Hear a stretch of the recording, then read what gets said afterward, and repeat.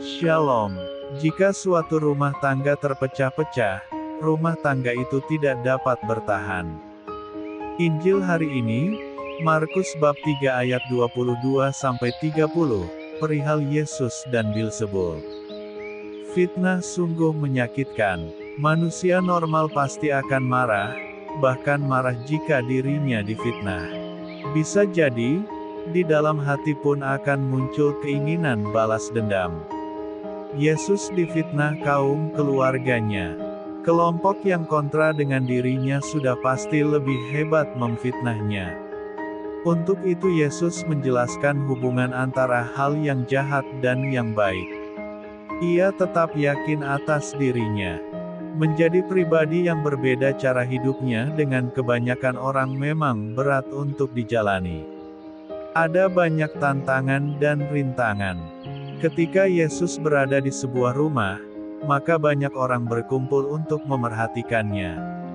Rupanya Yesus mengatakan sesuatu yang tidak dapat diterima orang waktu itu.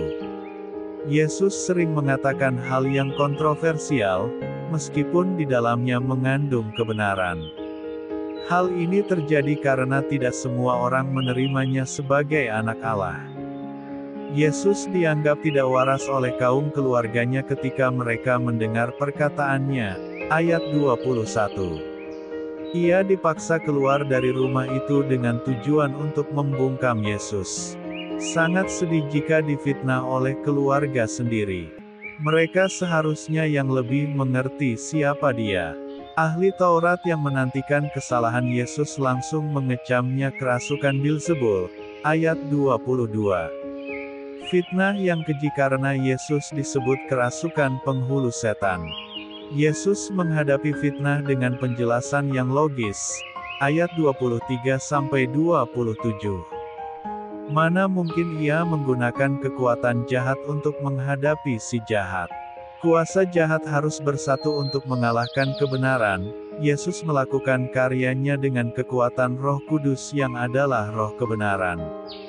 Menghujat roh kudus berarti sengaja menutup-nutupi kebenaran.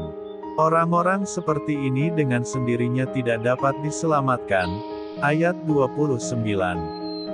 Ia tidak ingin mencari kebenaran dan terus hidup dalam kejahatannya. Marilah berdoa, Tuhan Yesus, jauhkan kami dari dosa menghujat roh kudus. Anugerahkanlah roh kebenaran agar kami hidup benar di hadapan Allah. Kiranya roh kami peka merasakan kehadiran roh kudus, untuk memahami karya kasih Allah di dalammu. Buatlah kami selalu setia kepadamu dan selalu menyatukan diri dengan dikau sendiri. Amin. Tuhan Yesus memberkati. RHPE Channel